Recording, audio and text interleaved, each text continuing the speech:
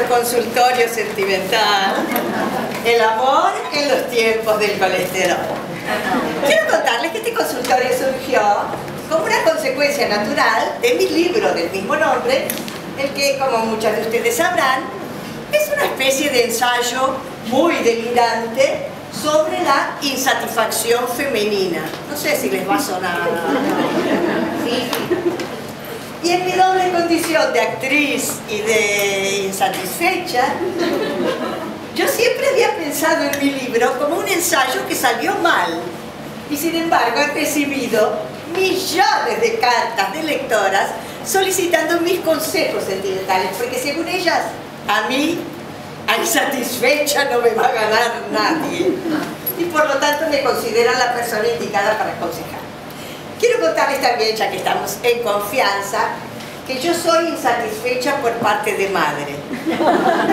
Sí, ya sé, me imagino que ustedes también. Y parece que este tema de la insatisfacción materna se remonta a tiempos inmemoriales. Cuentan que estaba la Virgen María conversando con una amiga cuando la amiga le dice Ay María, vos sí que tuviste suerte con tu hijo. Y María le contestó, ¿yo? Si yo quería que fuera médico. Y esa se conformó. Pero parece que la más insatisfecha de todas las insatisfechas del universo fue Eva.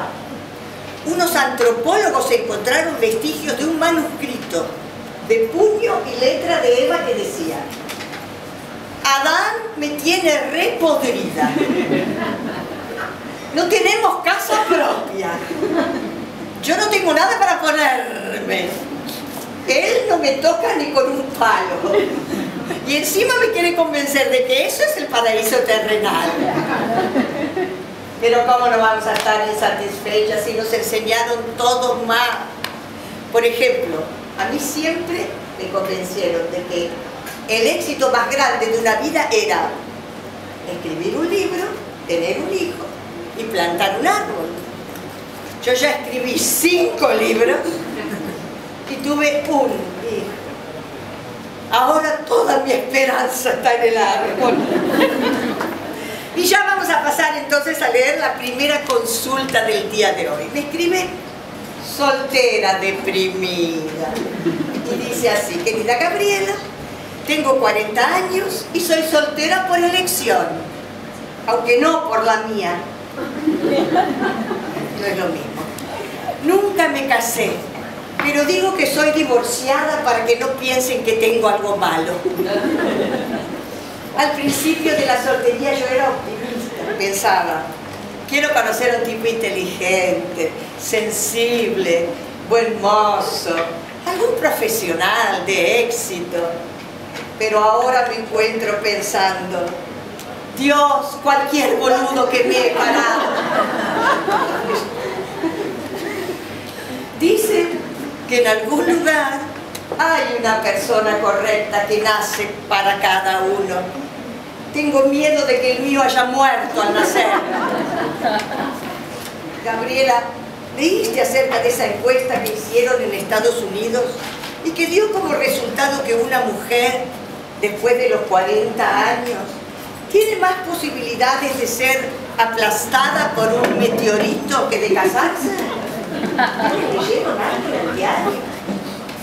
Gabriela, yo sé que estoy un poco obsesionada, pero ¿sabes cuál fue la noticia sexual más importante de los últimos años? Que me salió bien el Papa Nicolás. Querida soltera deprimida, nadie está teniendo suficiente sexo en nuestros días. O por lo menos nadie del sexo femenino. No sé con quién lo estarán teniendo los hombres.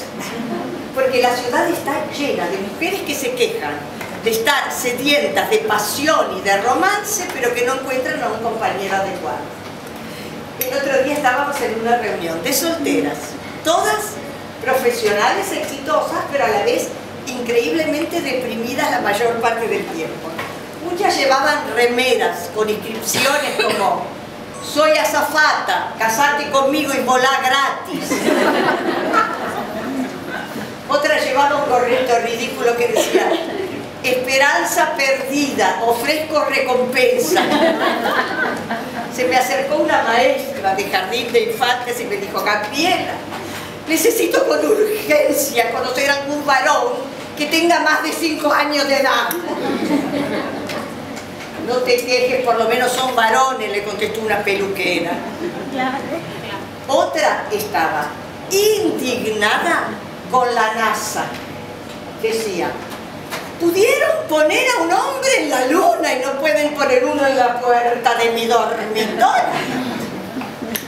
Todas coincidían en que lo peor de la soltería era el fin de semana.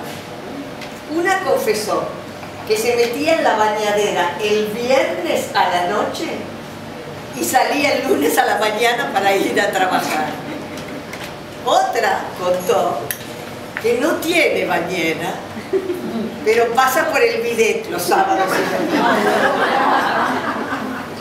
La pobre tiene fantasías eróticas cosmopolitas. El chorro de agua fría es un vikingo, agua caliente un caribeño, agua tibia su ex marido, canilla cerrada su presente. No está fácil la vida de las solteras hoy en día, chicas, aunque me parece que las casadas tampoco la llevan de arriba. Y si no, miren el testimonio de esta pobre deseosa incomprendida. Dice así, querida Gabriela, yo con mi marido tengo problemas con el sexo. ¿Cómo decirte? Él no es de mucho comer. En cambio yo suelo tener hambre y aunque no tenga igual, me gusta picar algo. A la mañana cuando lo veo meterse en la ducha, me dan ganas de acompañarlo y compartir el jabón un rato. Pero la única vez que lo hice me dejó afuera del chorro. Traté de seducirlo con perfumes, camisones, abanicos de plumas, portaliga, pero solo logré seducir al sodero y mi marido anuló mis tarjetas de crédito.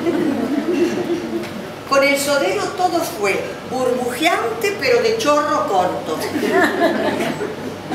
Después de hacer el amor, parados entre la tabla de planchar y el escobero del lavaderito, lo único que sabía decir era ¿cuántos sifones para el viernes? En fin, para ser clara, mi marido solo algunas mañanas me agarra medio dormida y me lo hace en un ratito porque él generalmente llega al clímax antes de que yo esté pronta. A veces antes de que yo esté en la habitación. Él dice que no es un eyaculador precoz, sino que está contento de verme. Pero no es cierto. Él no me registra, es como si fuera invisible. Llevo así 24 años y ya tengo la autoestima por el piso, pero no me animo a dejarlo porque tengo miedo de quedarme para vestir santos. Gabriela, mi pregunta es, ¿soy una insatisfecha? ¿Una insaciable? ¿O simplemente una mal querida? querida mal querida. Tu desgarrador testimonio me llegó al corazón y déjame decirte que lo tuyo me suena mal, querida, por los cuatro costados. Ahora yo me pregunto, ¿no será mejor quedarse para vestir santo que seguir desvistiendo pelotudo? Te dejo la inquietud. Hoy tenemos un informe, un informe de nuestra corresponsal en el exterior. Hola, yo soy Conchita Contento y esto es el CMI, el canal de la mujer insatisfecha. Presenta este consultorio perfume de feromona, el imán, el perfume que los hombres encuentran irresistible. Les provoca un inusitado interés en escuchar lo que una mujer tiene para decir. Unas gotitas son suficientes para pasar de tener el sexapil de la Madre Teresa a tener el de Pamela Anderson. No abuse de la dosis, porque se le pegarán como moscas. Le damos 120 días de prueba. Si en ese lapso los hombres no la tocan ni con una garrocha, le devolvemos su dinero. Y lencería la perla negra para su producto, la bombachita feliz. La primera tanga con GPS de la historia. El camino más corto hacia su clítoris. Porque cuando se apaga la luz, es más difícil encontrarlo. Tienen varios colores fosforescentes y con las voces de sus artistas favoritas indicando volvé, volvé, girá el U, boludo, te pasaste, baja un cambio, quédate a vivir ahí. Presentó Conchita Contento para el CMI, el canal de la mujer insatisfecha.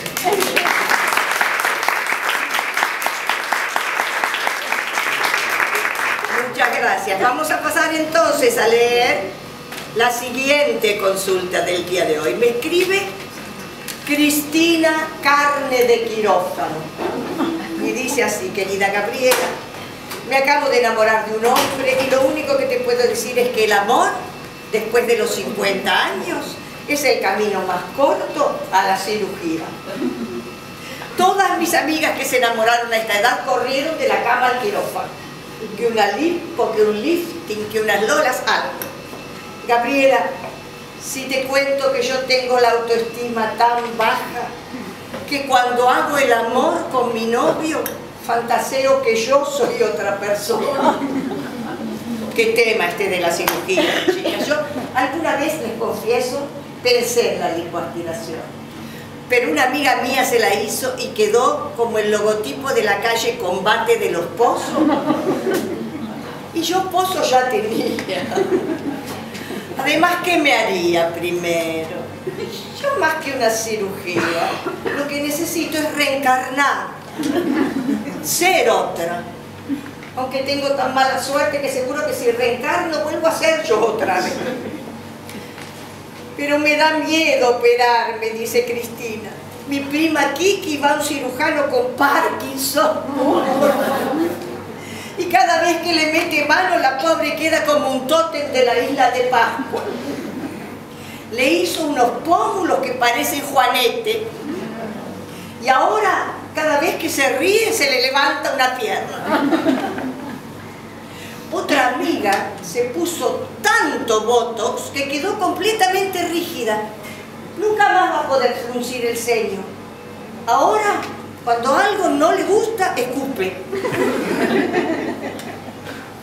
Además se puso tanto relleno que quedó inflada como una pelota. Dan ganas de buscarle la válvula en la nuca y sacarle un poco de aire. Ay, Gabriela, mi hermana se hizo tres liftings y la cara se le había estirado tanto hacia atrás que las orejas se le juntaron en la nuca. Y la pobre ya no oía en estéreo, solo monoaural. Entonces la operaron y le trajeron, la operaron y le pusieron unas patillas sacándole el pelo de acá atrás, también le tuvieron que adelantar las orejas pero ahora oye peor porque tiene más pelo en los oídos. O te puede pasar como a Verónica Castro, que se puso tanta boca que le tuvieron que agregar cara. Te juro, y ahora parece que le pusieron tanta cara que le van a tener que agregar cuerpo. Hoy el día hacen cualquier cosa con la cirugía. Bueno, cualquier cosa no. Me contaron que Vicky Chipolitakis se hizo un trasplante de cerebro. Pero el organismo se lo rechazó.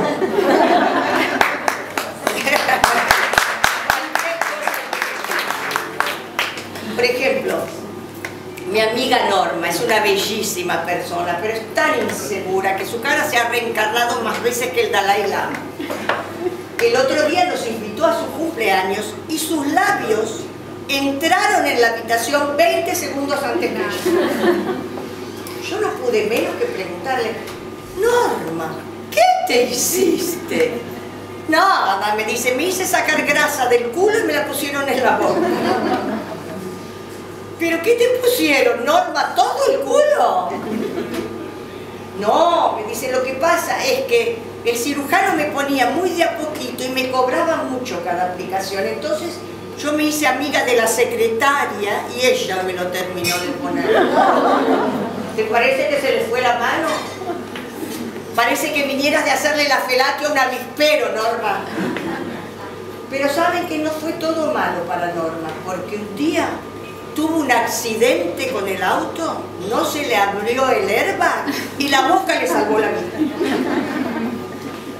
Mi vecina Ana María se hizo tanta cosa que ahora tiene una crisis de identidad. Ni una convención de psicoanalistas puede convencerla de que sigue siendo ella. Pero la verdad parece que el catálogo del cirujano plástico se hizo todo el menú. Frente, ojo, nariz, boca, cara, cuerpo, cuello. La pobre se tiene que mover con cuidado porque tiene miedo de que se le raje la cara. Y quedó con una expresión única, para toda la vida. Dice que duerme despierta, no se le cierran mal los ojos. ¡Qué bien! Morirme con los ojos abiertos y que nadie me lo pueda hacer Bueno, Ana María tiene hecho un trato con el cirujano. Él ya no le cobra por operación, tiene un abono mensual. Una vez se opera de lo que quiere él, otra vez se opera de lo que quiere. Así ella ahorra y él practica. Gabriela, dice Cristina, no sé qué hacer, decime la verdad. Hay algo peor que ser vieja, ser Cristina, quedar mal operada. ¿Por qué no seguís los consejos de Agatha Christie y te conseguís un buen arqueólogo? es el mejor marido que se pueda tener. Cuanto más vieja te pongas, más le vas a interesar a él. Esta es una época bien difícil para las mujeres. ¿eh? Por primera vez en la historia se pretende de nosotras que sepamos combinar inteligencia extrema con peinado fashion, eficiencia en el trabajo con tacos aguja de 15 centímetros, maternidad consciente con portalidad de encaje y sabiduría de la vida con culo de piedra así. Algo así como tener el cuerpo de Graciela Alfano con la cabeza de Simón de Beauvoir. Mira si te sale mal el intento y quedas con la cabeza de Graciela Alfano en el cuerpo de Simón de Beauvoir, me mato ahí mismo en la puerta del quirófano. No, ser mujer es vivir en una montaña rusa física y emocional. Por ejemplo, alguna vez se hicieron una mamografía. ¿Puede la mente humana inventar una tortura femenina más escabrosa? Te ponen las tetas en una morsa y te las aprietan como un limón exprimido sin piedad, porque no solo te las aprietan de arriba abajo, sino también desde los costados. Es como si te las pusieran en una compactadora. Parece que en lugar de una radiografía quisieran hacer un puré de teta.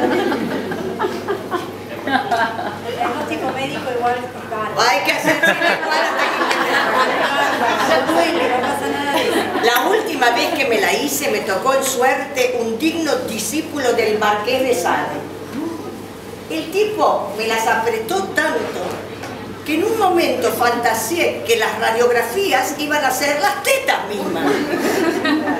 Me las estaba aplanando para entregármelas en un sobre. espere, espere, clamé desesperada. Déjeme un poquito de teta para irme. ¿Así? ¿Ah, no me diga que las necesita, contestó el mamut. y apretó hasta matar. Pero hágansela igual, chicas, hasta que Eso inventen te otra pasa cosa. diagnóstico Maipú. Ah, esa. Esa es la única manera. Hoy tenemos otro informe de nuestra corresponsal en el exterior. Vamos a ver qué nos dice. Hola, yo soy Conchita Contento y esto es el CMI, el canal de la mujer insatisfecha. La Universidad de Tajolindo, en la Baja California, ha realizado con la seriedad que la caracteriza un sondeo tipo entre 200 hombres y mujeres para cotejar las diferencias en las respuestas de ambos sexos. Frente a la pregunta, ¿qué es lo que más temen al tener que encontrarse con alguien que conocieron por internet? Ellas respondieron que tenían miedo de encontrarse con un asesino serial. Ellos con una gorda. Frente a la pregunta, ¿cuál de los dos sexos es el más infiel? Ellas respondieron que necesitan un motivo para ser infieles. Ellos, un lugar. Frente a la pregunta, ¿qué quieren los hombres en el sexo? Ellos contestaron que lo que más querrían es que nos acostáramos prostitutas y nos levantáramos vírgenes. Frente a la pregunta, ¿qué quieren las mujeres en el sexo? Ellas respondieron que no esperan del sexo tocar el cielo con las manos, pero que les gustaría que les hicieran ver, aunque sea, algunas estrellas. Frente a la pregunta, ¿es verdad que las mujeres tienen envidia del pene? Ellas respondieron indignadas que nunca quisieron tener un pene que no viniera con un hombre incluido. Desde Tajo Lindo, en la Baja California, Conchita Contento, para el CMI, el canal de la mujer. Insatisfecha.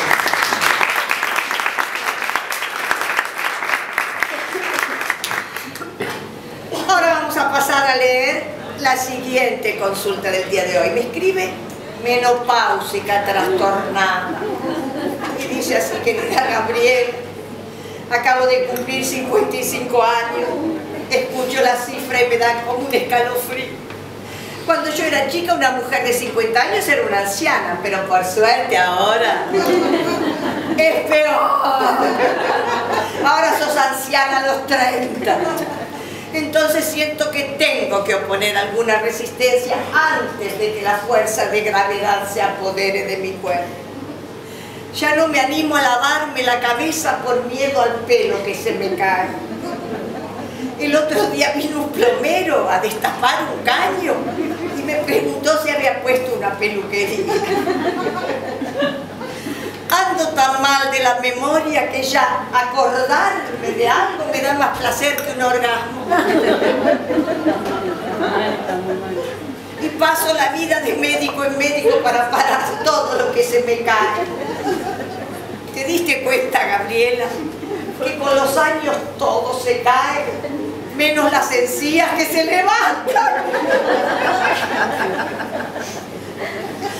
¿Pero qué hay que hacer? Seguir bailando al ritmo de las hormonas de ahora en más, pero yo digo, ¿no era bastante con la menstruación? También teníamos que tener menopausia. ¿Qué pasa, Dios? ¿No te gustan las mujeres? Todas mis amigas me dicen que viva en el aquí y ahora, pero yo lo único que pienso es en el futuro. Negro. Hago dieta, gimnasia, tai chi y rezo. Decime la verdad, ¿vale la pena tanto esfuerzo? Me gustaría unirme a algún grupo de menopáusica, pero no sé si existen o solo son un producto de mi imaginación. Gabriela, ¿qué puedo hacer? Querida menopáusica, tu desgarrador testimonio me llegó al corazón. Quiero decirte que sí, que a los 55 años, si haces gimnasia, una dieta estricta, un retoque de cirugía aquí y allá, tenés un excelente dentista, una buena dermatóloga, un ginecólogo de confianza, un traumatólogo consciente, un oftalmólogo ayornado, una buena profesora de yoga, tomás vitaminas, haces caminatas y tenés el mejor analista, podés estar bien.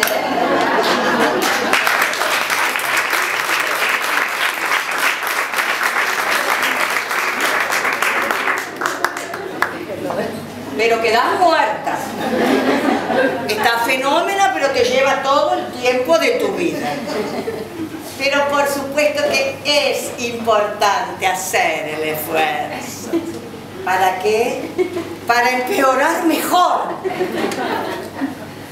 Le pregunté a una amiga psicóloga a ver si ella conocía algún grupo de menopáusicas y me habló acerca de estos que parecen muy recomendables. El primero de todos es el um, ultramenopáusicas. Son mujeres muy orgullosas y exhiben sus síntomas. No se abanican los calores. Exigen que les abran las ventanas y si no las rompen así ya. No controlan sus emociones, se pelean con los colectiveros, le pegan a los maridos. Son la vanguardia menopáusica. Cuando lloran, toman vino tinto y cantan uno. Si yo tuviera menstruación, la misma que perdí. Luego está MOMO, que es la sigla por menopáusicas optimistas. Mo, mo, lo dicen dos veces para creérselo. Este es un grupo brasileño y se constituyeron como Escola do Samba. En el último carnaval cantaban Menopausia maravillosa, cheia de encantos mil, calores do meu corpo, coração do meu Brasil. Luego está Mama, que es la sigla por menopáusicas amnésicas. Ma, ma, lo dicen dos veces para acordarse. El único problema con este grupo es que no pueden reunirse nunca. Porque se olvidan la fecha, los objetivos y las tareas. Querida amiga, como verás, el temor que le tenemos a la palabra menopausia es absolutamente injustificado porque una vez que tenemos plena conciencia de lo que nos espera, nos volvemos zen. No solo vamos a vivir en el aquí y ahora, sino más bien en el ahora o nunca. Me escribe adolescente tardía y dice así, querida Gabriela, soy una mujer mayor y estoy saliendo con un chico mucho más joven. Pregunten mi edad, pero digamos que estoy entre los estrógenos y la muerte. Menos me animo a confesarte la edad de él. Pero la verdad es que hay momentos en que no sé si fifarlo o adoptarlo.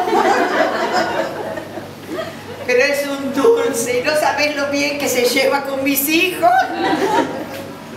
Un día yo lo miraba extasiada porque me parecía tan bello que le dije, me haces acordar al David de Michelangelo. Y él pensó que le hablaba de una tortuga ninja.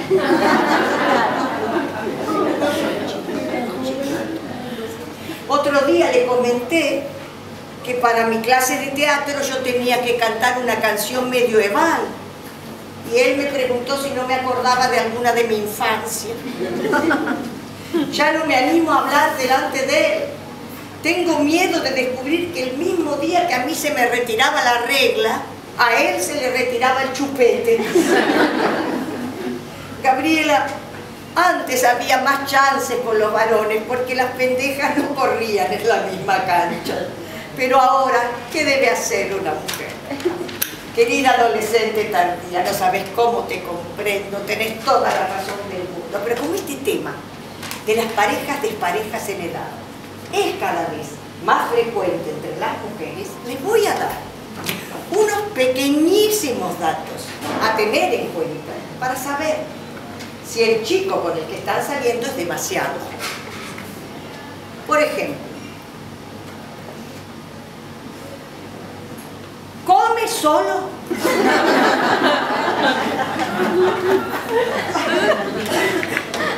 Cuando se cansa, ¿te pide upa?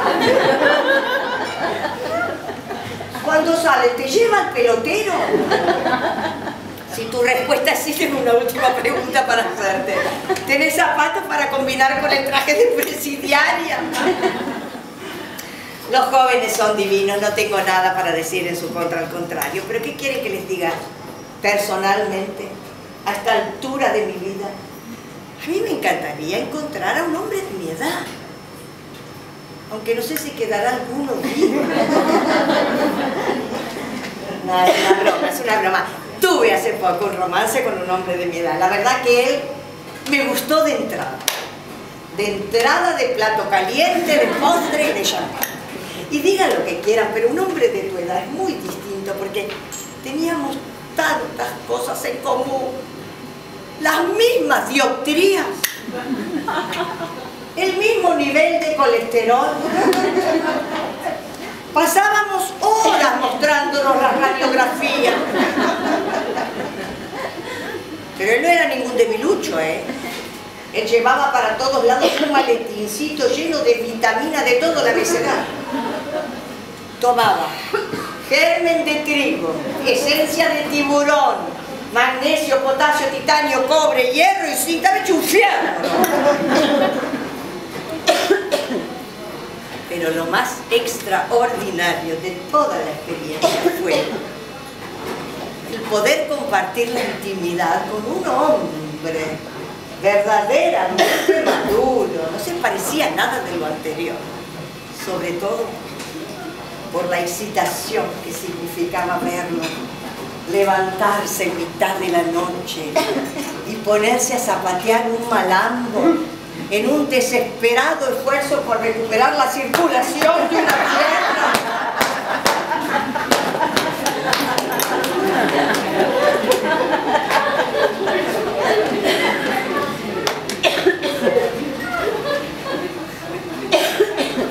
Son experiencias muy difíciles de olvidar. Pero de todas las insatisfacciones femeninas, la peor es la que tenemos en nuestro propio cuerpo. Recuerdo como si fuera hoy el día que él me invitó a ir a Miami. Yo lo primero que pensé fue Miami. No tengo ropa de verano.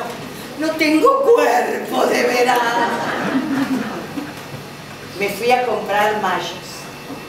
La tarea más deprimente del universo meterte en esos probadores, esos cubículos infernales con una luz verdosa y unos espejos deformantes, transpirando para encajarte adentro de una malla de hierro elastizado y con las empleadas mintiéndote que estás divina. Me probé 150 modelos diferentes se las iba tirando por la cabeza la empleada que me miraba con desesperación. Finalmente, ya en un rapto de locura le dije, no tenés una con otro cuerpo. La pobre me miró con una cara que me dio tanta culpa que terminé comprándole tres mallas israelíes a 300 dólares cada una. No son ortopédicas pero confieso que tienen relleno en el busto, en las nalgas y una chapita muy delgada de aluminio que te aplasta la panza y las caderas, pero que te permite ir a la playa. No sé si moverte, pero eso ya es otro precio. Pero yo no quería ir a la playa con él, ya a esta edad, para que un hombre me vea desnuda al mediodía tengo que estar en su testamento. Si él verdaderamente me quisiera, pensaba, me habría invitado a la nieve. Yo estaría con suéter y tres pares de media. Leo, es que a mí me gusta la playa, pero ahora no sé, tengo miedo de no gustarle a ella.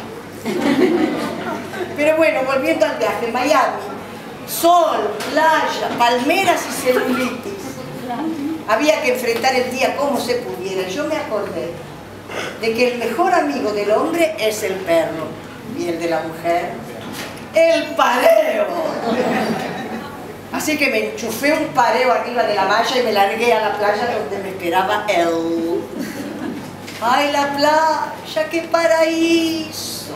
Arenas blanquísimas, mar color turquesa, gaviotas sociables, mujeres bellísimas, caderas angostas, senos turgentes, culos de piedra, la puta madre. A medida que avanzaba por la playa me faltaba el aire y la arena se había vuelto movediza. Pero no me detuve. Enfundada en una de mis mallas israelíes, marché sobre la arena con el espíritu de un soldado, desertor, pensando que se termine todo de una vez así me visto y me voy para mi casa. Él me esperaba encantado con una sombrilla y dos reposeras. Por suerte, él siempre estaba viendo otro canal. Con mucha dignidad que no sentía, me acerqué a una de las reposeras y estuve 40 minutos acomodándome para conseguir mi mejor ángulo. Me acomodé bien, pero quedé con tortícolis. Dios, qué extenuante gustar. Recién había llegado y ya estaba calambrada, agitada, transpirada. Y de ir al agua ni hablar, me tenía que sacar el pareo. ¡No! Mil veces no. Pero el hombre empezó a hablar. Y yo me di cuenta de que todas mis angustias eran infundadas. Porque él me veía, pero me dijo que me miraba el alma que es el único lugar al que no llega la celulitis. A partir de ese momento me relajé, les juro que volví de ese viaje a Miami con 10 años menos. Había ido verde de Buenos Aires, pero volví con otra luz. De tanto verle la cara a Dios, una queda como iluminada. Y saben que descubrí algo extraordinario. Que lo importante no es cómo te ves, sino cómo te sentís en la oscuridad. Y yo en la oscuridad me siento Sharon Stone, sobre todo después de recibir este cable de la agencia FIFE con buenas noticias. Dice así, de todas las facultades humanas, ver, oír, etc., lo que demora más en abandonarnos es el deseo sexual y la habilidad para hacer el amor. O sea, que aún después de los bifocales o de los audífonos, vamos a seguir haciendo el amor. Lo que ya no vamos a saber es con quién ni por qué. Y eso es todo por hoy, amigas.